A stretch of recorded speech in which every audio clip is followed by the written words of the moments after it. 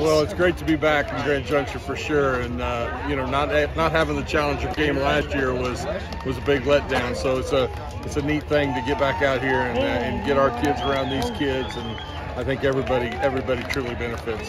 And uh, so you must have been excited when they invited you to do this again. Oh, no question. Yeah, if, it wouldn't be Junction for us if we didn't get a chance to do the Challenger game. That's exactly right. And uh, what did you tell the you know because uh, there wasn't one last year? What did you tell the kids? You know what to expect?